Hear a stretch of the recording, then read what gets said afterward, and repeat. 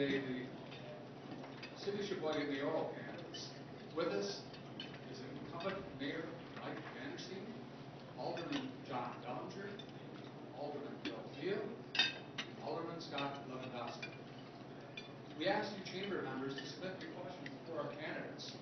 At your tables, you'll find profile sheets for each of the candidates with a little bit of their history and their background, and also answers to some of the general questions that you pose. For this discussion today, we're going to use questions that reflect some of the major selected. Before each question, I'm going to draw the name of one candidate at random. Selected candidate will respond, and then we'll proceed with responses from the other candidates in the order in which received.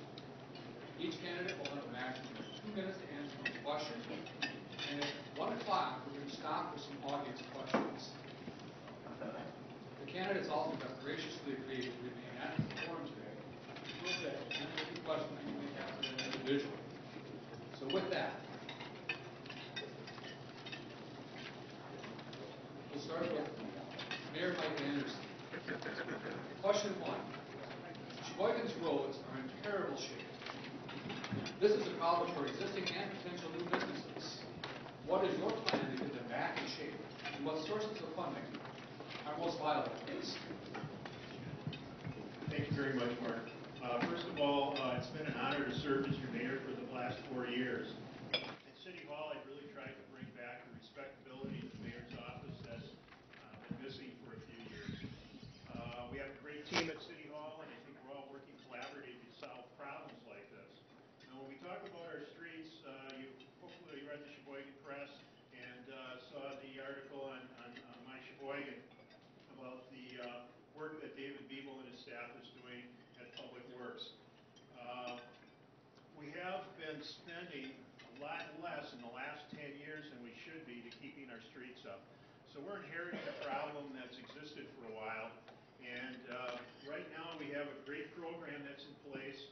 Uh, We've developed new revenues with the wheel fee, the money that the county's giving us from the sales tax, and our council's voted to bond for uh, $5 million this year, up from 3 million for the past 19 years, to put more money into our streets budget. And uh, as you can see in the graph that was in the paper, the, uh, the city's going to be able to go from what was an average of 2.3 miles uh, per year on an average for the last 10 years, up to 5.5 miles of streets will be improved either via resurfacing or reconstruction this next year. We hope to continue this trend because that's the only way we're going to solve this problem. Uh, You can't pave these roads with good intentions, and you have to put money into the, the, the- pot to take care of the roads that need attention.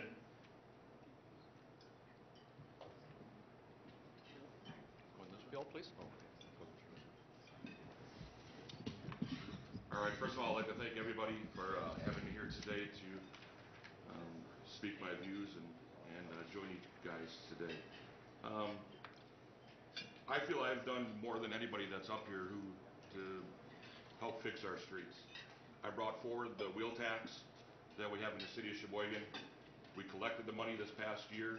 Um, We can put that money now to use, which as the mayor stated, that uh, Director Biebel has, I do believe it's 10 projects that he stated in the Sheboygan Press that we have planned, plus additional um, funds where he can, you know, go out there and let's fix some of these potholes and let's make a change. Um, We also did vote on, um, you know, ex- extra funds from our strategic planning uh, to put forward towards the streets. I know there was a heavy discussion in our council at that time. Um, Some wanted to spend extra money, some didn't want to spend money. Um, I came up with a proposal that was somewhere in the middle, um, you know, a middle ground where we could still get a lot of projects done on streets, um, but still not break the budget and, and, and still put some money towards the streets. Um, Some of the people up here I know didn't vote for, you know, streets are an important thing and they say they're an important thing, but yet they didn't vote to put any funds or come forward with any other ideas to uh, get our streets fixed. Thank you.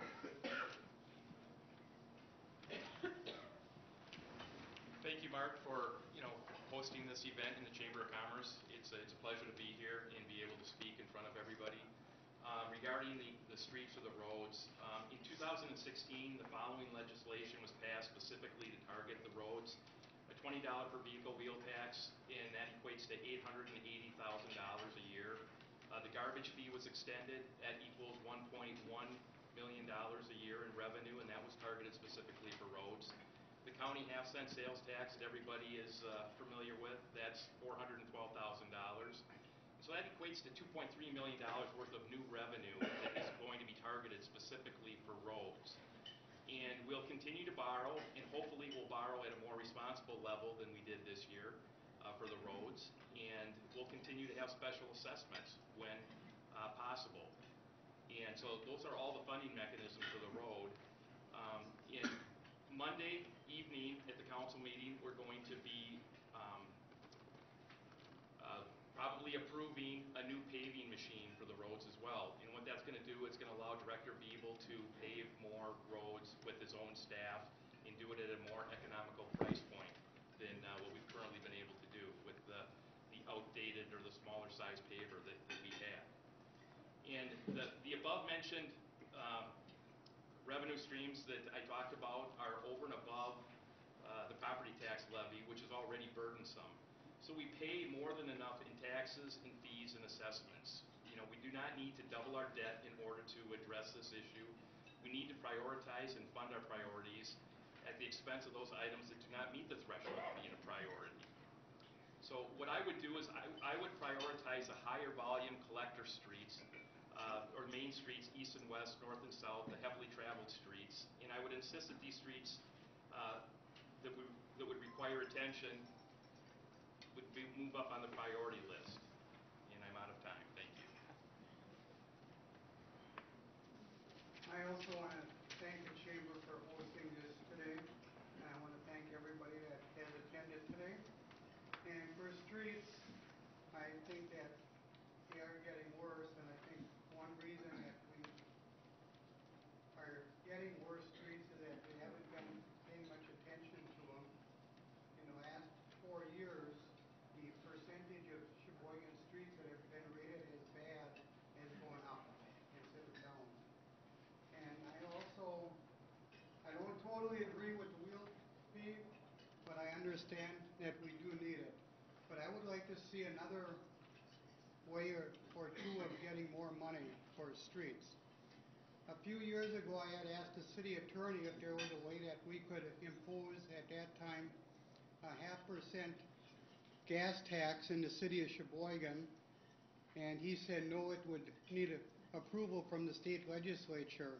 But I thought if we do it from a gas tax, the people that live outside the city but use our streets would also be paying something for improving our streets. We would also get some money from tourists who come here and don't pay anything for repairing our streets but use them. And I also felt that the people that use the streets more would be paying a little more than a flat wheel fee where everybody pays the same whether they travel 30 miles a day in the city or half a mile once a month. And I'm just about out out of time. Thank you.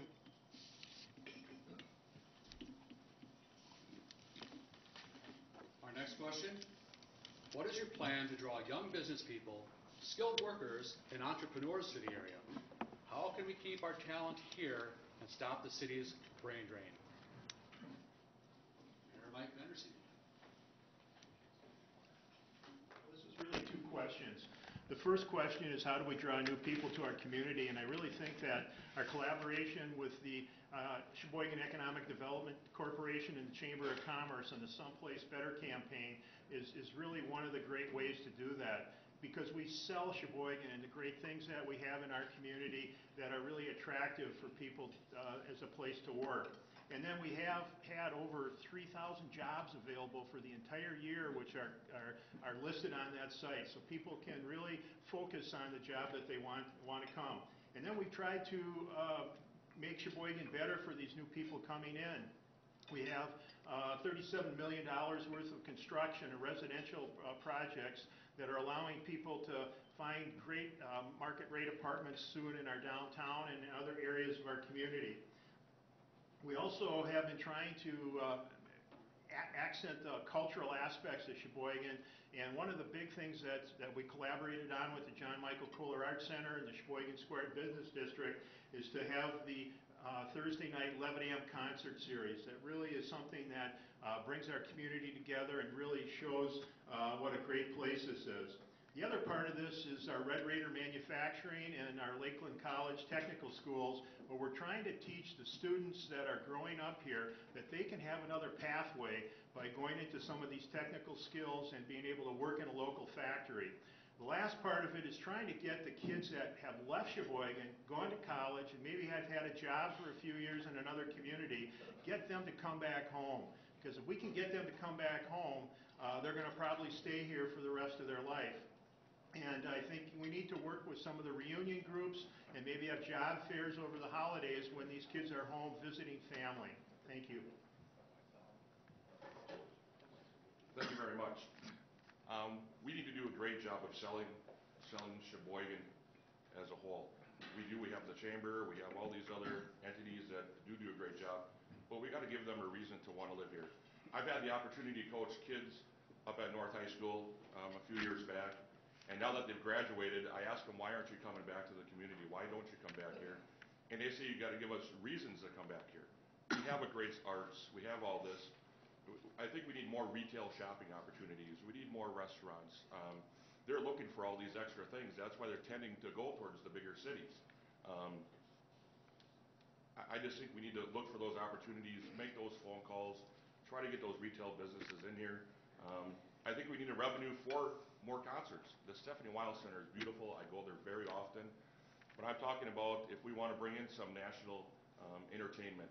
Uh, we don't have that one size bigger than the Stefanie Weill Center to bring in that type of entertainment, and I really think we need to find a way uh, to build that type of uh, entertainment um, in our city.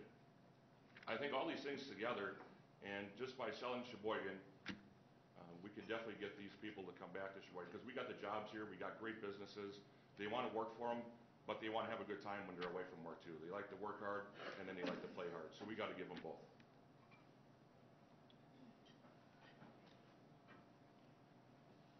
Uh, I don't necessarily agree with the premise that there's a brain drain that's leaving the city. Um, I- I've got young, um, young adults, as, you know, I had three kids, and uh, one came back here and worked. He went to Marquette, and Kohler offered a co-op. He worked at Kohler. Um, So I know that you know, employees or employers like Kohler that are offering internships and co-ops. Acuity uh, is currently recruiting a lot of young talent. You know, so there, there are jobs that, as previously mentioned, that are here. There are companies that are doing whatever they can to attract young people. Kohler even uh, recently put an office in Milwaukee because they want to be able to attract young people that want to live in an urban setting. So what we need to do as a city is address the need for housing, which uh, has already been mentioned, and we have. Uh, with Oak Brook, we've got another apartment on South A Street that'll be breaking ground, Portscape Apartments. You know, so that continues to be um, a, a need that needs to be addressed. And once we have that, then I think organically, uh, some of the other needs for a vibrant downtown life um, will, will be met. So we also need to have um, a mayor uh, that is going to be engaging uh, the, the local businesses, um, American Orthodontics, HSA Bank, Aurora, etc. What are their current needs? You know, what do they anticipate as future needs? And we also have to have an open dialogue with uh, employers that are outside the city, Kohler, Sargento, Masters Gallery, Bemis, Sartori. You know, we need to have a positive relationship with these leaders and able to react in a precise manner to address their needs uh, should they have one, such as Masters Gallery, which we lost to the city of Oostburg.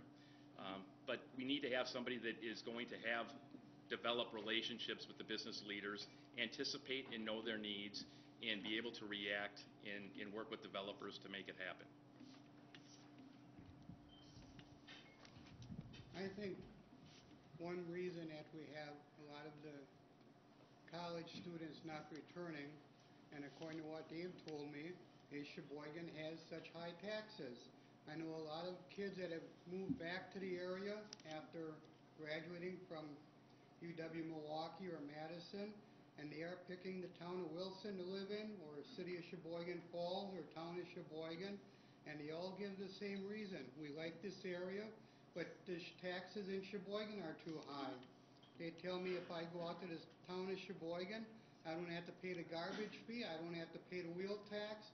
So in order to get the people to come here, we have to find a way to reduce the cost of the people that live here.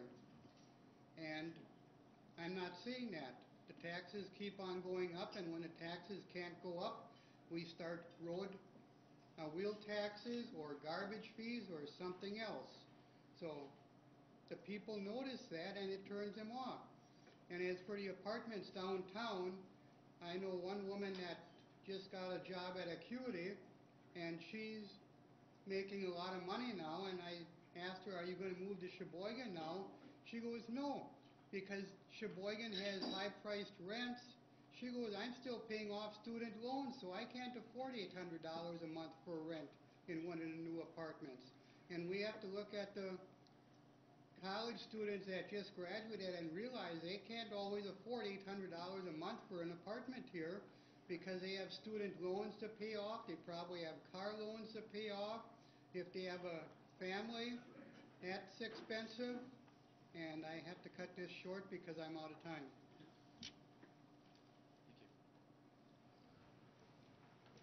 Question three, what is your stand, excuse me, what is your stand on growing the city and its services to support a healthy economy and to entice more businesses? Alderman Lewandowski. Could you repeat the question? Certainly. What is your stand on growing the city and its services to support a healthy economy and entice more businesses? Well, I'm in favor of growing the economy of the city, but I am also concerned that we have to get along with our neighbors. We can't always take property from the town of Sheboygan or town of Wilson or other townships, because then we start to get into a battle with whose land is this? And that could very well turn off some businesses that want to come here that don't want to get into an argument of, do you want to be in the town of Wilson or city of Sheboygan? They might decide to just skip coming here and going somewhere else. And I think if we do expand, we also have to look at the cost it's going to be to the city. As an example, if the city is now expanding into some property that they just bought in the town of Wilson, and in order to be annexed into the city, we have to add water and sewer, and that all costs money, and that's coming right now from the current city taxpayers.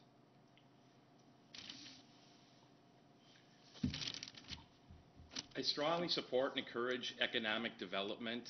Uh, What I do not support is growing our government or services. In fact, I'm in favor of outsourcing where it makes sense and turning over functions to the private sector if that is in fact available. Uh, Economic development is essential and vital to moving the quality of life in Sheboygan, as well as increasing the tax base. We need, we need to have a mayor that has a passion and is engaged with developers and business leaders. We need to be receptive and encouraging and creative when opportunities are presented to us. And we need, also need to have the correct personnel in place to negotiate and deliver a positive message to the developers and business leaders. Uh, we had that with Don Hammond when he was president of the council. He had the professional financial background that was necessary. He was well connected with developers and business leaders in the community. He had the political acumen from years on the council. And most of all, he had the passion for economic development and a true love for the city. Um, he left the council uh, a year ago, and there's been a bit of a vacuum um, as it relates to that. So we need somebody similar with similar talent to keep the momentum moving forward. Uh, quite frankly, the pace of economic development has slowed in the past year compared to what it had been in the previous years before. Um, I see it picking up somewhat again, but um, it, it has somewhat slowed. So we need to have a laser focus on economic development. We need to reach out and be proactive rather than sit back and hope opportunities knock on our city hall's front door. And we need a leader with a vision. Thank you. Um, I think we all are in agreement that we are, um, we all feel economic development in the city of Sheboygan is very important. Um, we need to look at every opportunity that comes towards us, and we also need to have someone who's gonna go out there and make that phone call to get that person to wanna come to Sheboygan and sell Sheboygan. I've been in retail now for quite a few years. I feel I know what the retail de- department or retail areas are looking for to come to the area, um, to develop in the city of Sheboygan. And I wanna make those calls and sell Sheboygan on how, how great Sheboygan is. We have great services. and covers the codes and ordinances that must be adhered to. Um, it's a great program, it's a great starting point, um, it's educational. Um, anybody that's gonna be a new landlord or for existing landlords as well. So there's that program that's in place to, to address that. Um, Then, uh, as mentioned previously, code enforcement, uh, we're adding another code enforcement officer, dividing the city in half. So we should be able to, you know, address uh, twice as many issues as we have in the past, and that's been quite successful. And I would like to credit Alderman uh, Susie Holshoe for bringing that forward and ensuring that that got funded. So that was a- a great addition as well. Uh, One of the other things that we have is we have quite a few neighborhood associations that have become more prominent and active. Uh, We have several neighborhoods that are wor- working towards becoming officially recognized members, and Penny Weber is working with these um, neighborhood associations closely to guide them through the process. So the neighborhood associations are made up of concerned neighborhoods in a given geography, and those people, what they want are safe neighborhoods, and they want the properties in their neighborhood to be uh, well kept up. So um, it's these people that are in the neighborhood that are driving this, and, and they're looking out for um, the welfare of the neighborhood. Along with that, we have a police department that has community policing, and part of that is neighborhood officers who specifically target given neighborhoods and, and work with the community or with the neighborhood associations as well. So they're able to identify the trouble spots um, and, and work with the, the neighborhoods. Um, As far as the drug problem goes, um, I believe that the chief has a very good handle on it. I'm very impressed with his work. Uh, Part of the problem is mental health issues, and Aurora has a great mental health facility, and I know that the police chief is in favor of, you know, keep, keeping that and supporting that as well.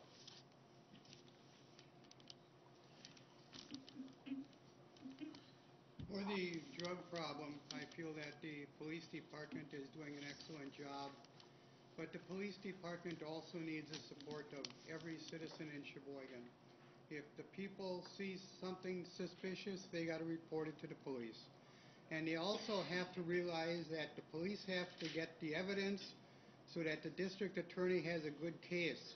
They can't expect to report something to the police and see arrest the next day. The people have to be patient and they have to work with the police department. I also think that we have to somehow get the county judges to stop with the slap on the wrists. I see too many people getting convicted of selling drugs, maintaining a drug house, and then their sentence is probation, and they're back on the street selling drugs again. So I think we have to start putting some of these people in jail for a while to get them off the streets to stop selling drugs. As for the slumlords, there's a group on Facebook called Slumlords of Sheboygan. And I had joined that a couple months ago, and I was shocked by some of the pictures that the people posted on that page and what they told me. And in every case, they told me if I complain to the city, I will get evicted. So we have to find a way to protect the people.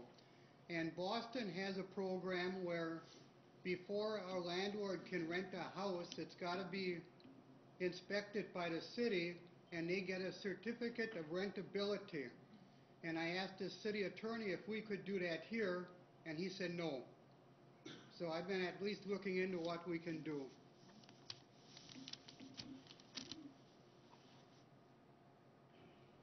What will you do to work cooperatively and collaboratively with other units of city and county government?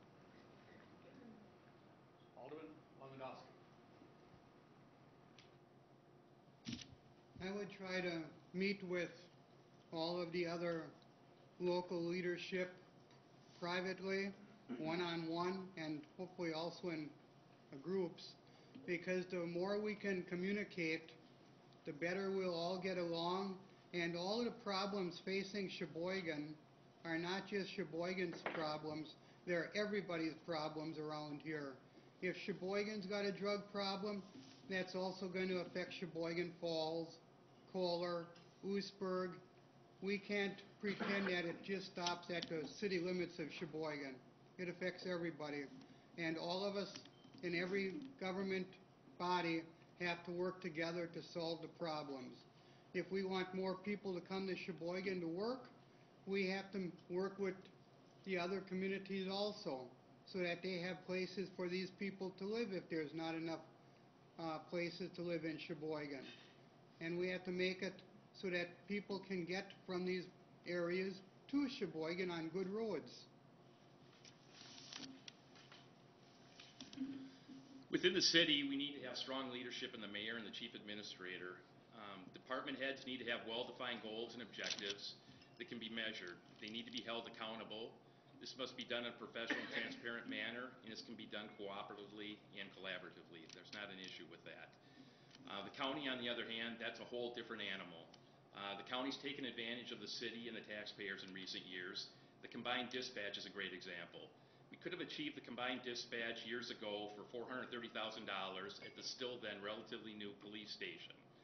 All we needed to do was add an additional workstation and run some additional fiber optic. Um, Instead, it was just recently completed at the county for $12 million. The city's portion of this fiasco cost the taxpayers $2.5 million. The mayor originally wanted the city to pay $5 million as part of this program. Again, remember, this could have been done for $430,000. In the next sterling example of co- cooperative government with the county is the half cent sales tax increase for transportation. This was created by the county in a vacuum with no input from the city, yet the city comprises 43% of the county's population. Once alerted of this scheme, the mayor lobbied county boards supervisors telling them that the city supported this great idea.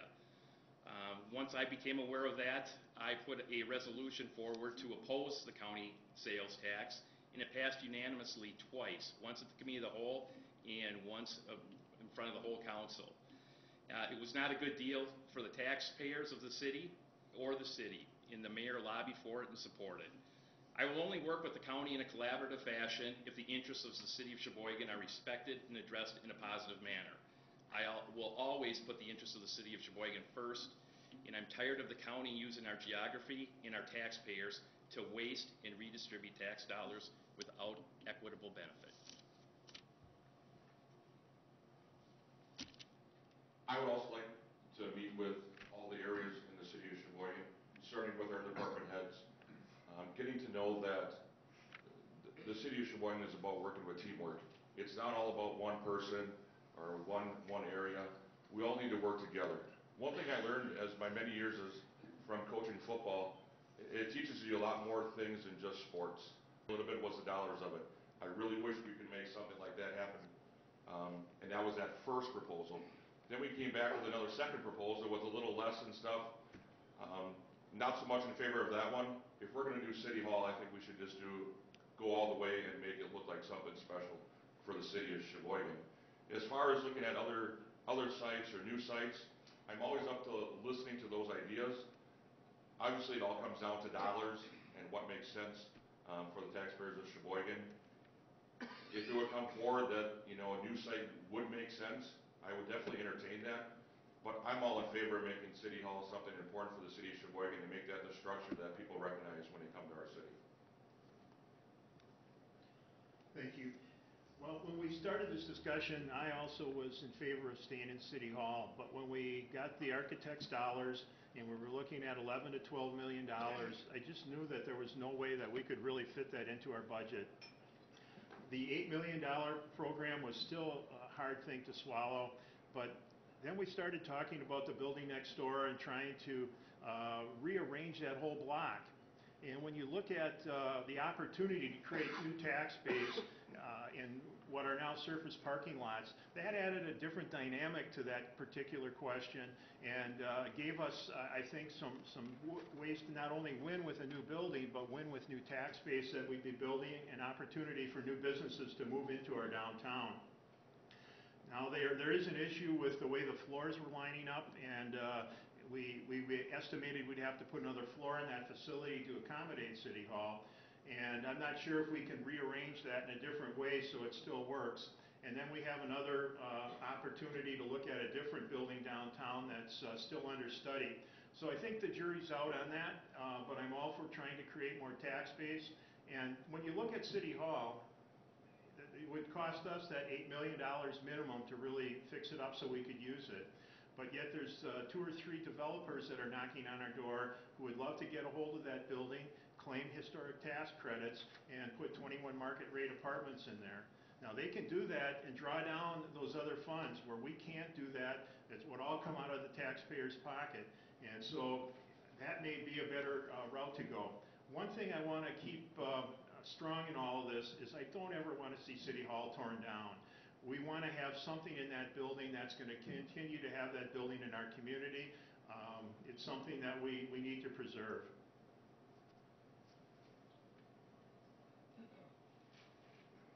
It is just about 1 o'clock, and starting with the audience questions, we have one write-in question, and it's a bit long, so bear with me, please.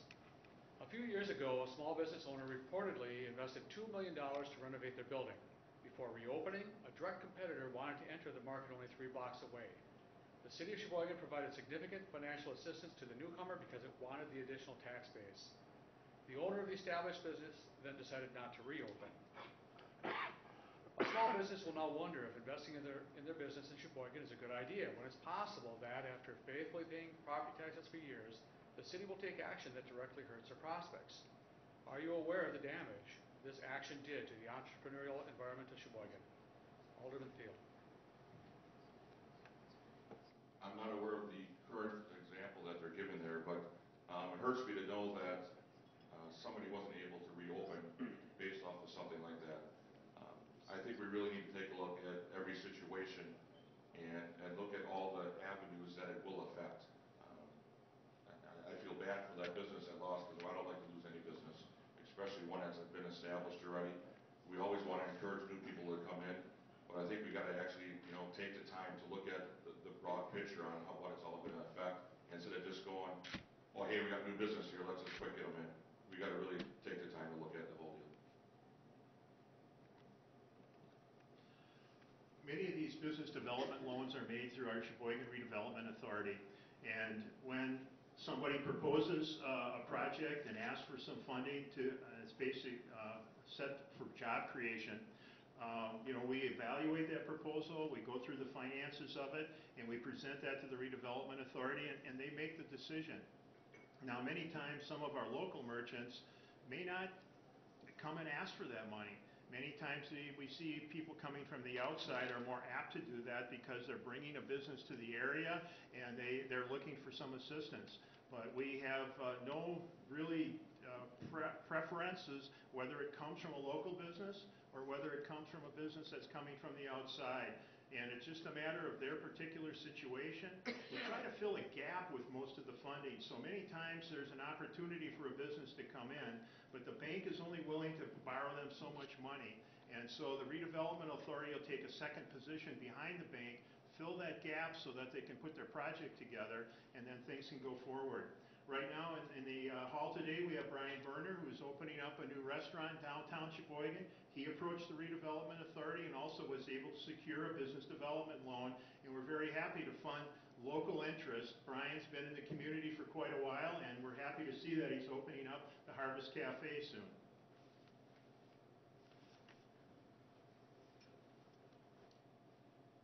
Um, I'm not familiar with the specific instance that's being referred to in that question either. Uh, I do sit on the Plan Commission uh, where new businesses come before and uh, their plans are brought forward and uh, and they're debated and, you know, they're given granted approval.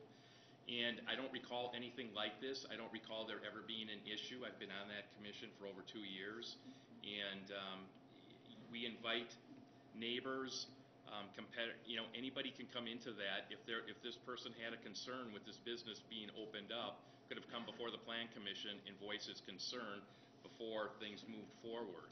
So um, I, I guess I would just like to throw that out there for the person that, that put that question through in the future that uh, should some similar situation arise, that he could certainly address it a- at the Plan Commission. So, um, and again, I share the same sentiments that uh, Alderman Thiel has, that, you know, nobody wants to discourage or, um, uh, you know, eliminate any business opportunity from, from uh, becoming um, a successful uh, and growing, thriving business. We're all looking for development, and uh, that's what we're, what we want. And without any further specifics regarding this, I guess I can't comment anymore on. I have also heard from a few friends of mine who are small business owners in Sheboygan, and they have complained to me on numerous occasions that when they go to the so it makes sense for them to take advantage of this opportunity and uh, build up their athletic uh, opportunities by improving the fields. And uh, we hope we can, uh, can get this done sometime this, later this year.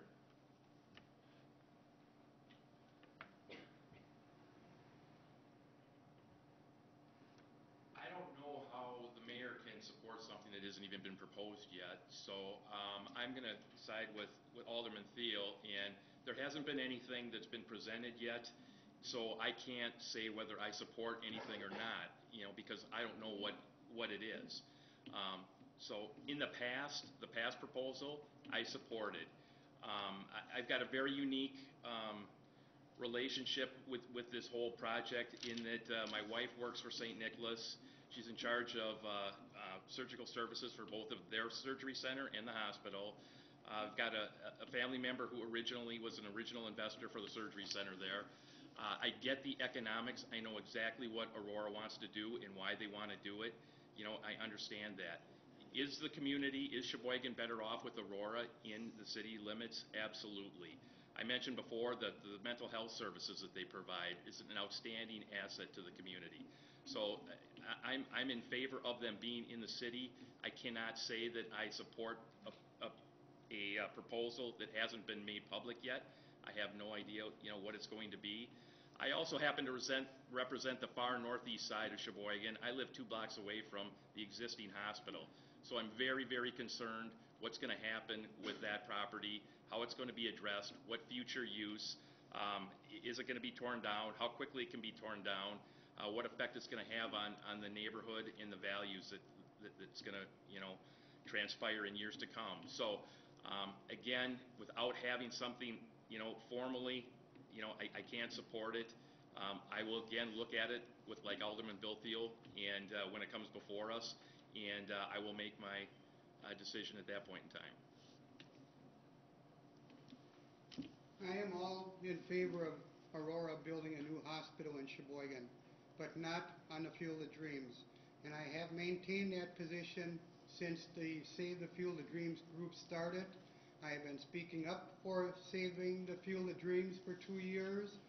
Aurora has a great chunk of land on Weeden Creek Road that they bought years ago to build a new hospital. Now, they tell me that there's all sorts of problems. And at the open house that Aurora had a couple weeks ago, I asked why they bought that land if it wasn't good for a hospital. The answer I got from the five people that I asked was, I wasn't working for Aurora two years ago, so I can't answer that. And they, when they said they would get somebody that could answer, they never came back to talk to me and answer my questions. And Aurora says that it's for the best future of Sheboygan. Yet if you look at the future of Sheboygan, the southern part of Sheboygan is the fastest growing part of Sheboygan, along with the area of Oostburg and Cedar Grove. So a new hospital on the south side of Sheboygan would better serve the needs of the future of the medical services in Sheboygan. Also, if you look at or listen to the people that say the Field of Dreams is not in good shape right now for the fields, that's because there has not been any maintenance done on the fields. If you build new fields and don't do any maintenance, you're going to have the same problem as at the current Field of Dreams, that there's no maintenance on it. So maintenance has to be done. And who's going to be doing the maintenance on the new fields? Not the school district. And the mayor said that the Field of Dreams is not a park. If you go in the mayor's office right now, you can pick up a map of the city of Sheboygan which shows the Field of Dreams and it's listed as a park. Questions from the audience?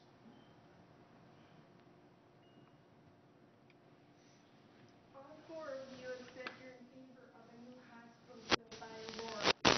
Do you also know that Aurora is but a long-term people goal? Why not support the hospitals you have now? Help them better, rather than see another hospital go up and other people maybe lose their job. Question on the, Long-term employment of employees at the Aurora Hospital. Alderman Loganowski? Well, if Aurora builds in Sheboygan, no matter where they build, they're gonna create new jobs. Right now, their sole purpose of wanting to be next to St. Nicholas, which they don't wanna admit, is to take patients away from St. Nicholas and in the long term, put St. Nicholas out of business. That has been their goals in other cities where they have built right next to an existing hospital, is to put that hospital out of business.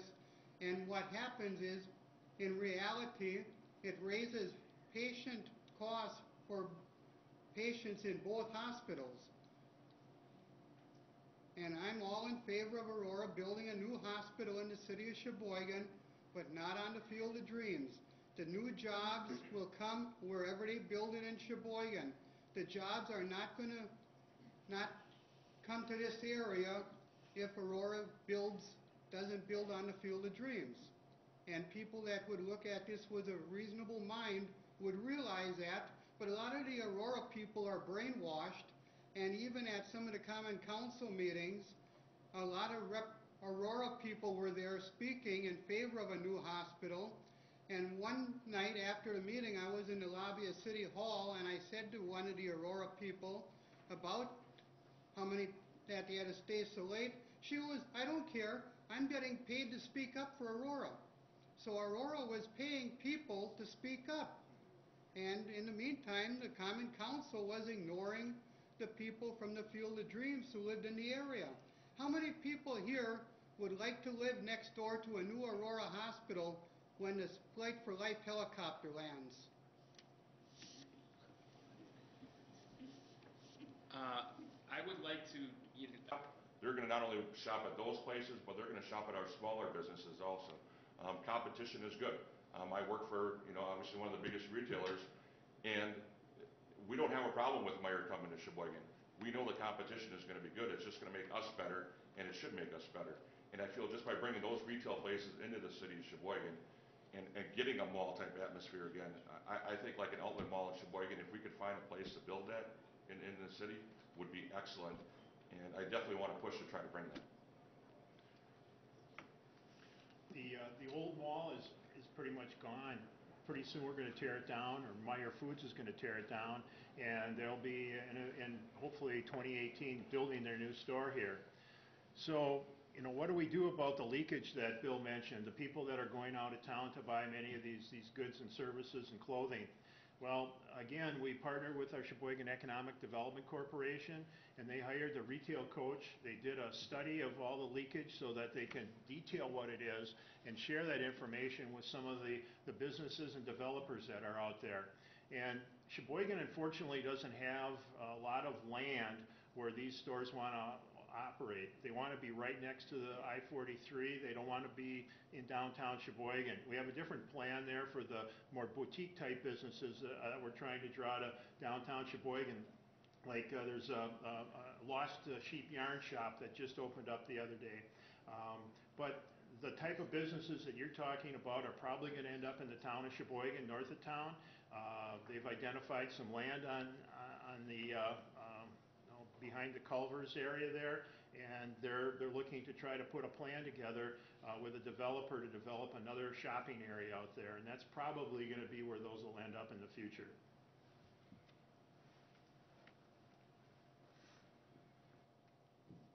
yeah, again, just just to reiterate been said, you know, the the Meijer is, is doing what they're going to do with the property that they acquired. And um, it's unfortunate with Hobby Lobby and some of the other retailers that we, that we've lost.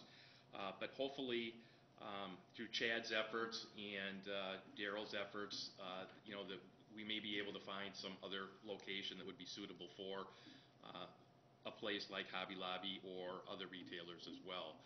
Um, the, the dynamics of, of large shopping malls in the city of our size, um, you know, I think are, you know, they're, they're not sustainable anymore with the, all the online and, and things are going on. And remember that we're, you know, landlocked to the east. We've got a big lake there. So with our, our population density doesn't support a Gap or, uh, you know, a Nordstrom's or, or anything like that. Or, you know, and as much as, you know, I would like to see that right here in our own backyard. And, and again, what the mayor stated, um, the, the interstate corridor, the land that the city owns, and it, it's very limited, and, and these uh, retailers want to have very specific, you know, um, they want to be right off the interstate. I mean, if you look at the corridor down in Grafton where Daryl came from, you know, how that all developed, and um, that, that's a, the perfect scenario for, you know, someone that's got land that's ava- available that's, you know, right next to the interstate. So unfortunately, we've got, you know, land issues, and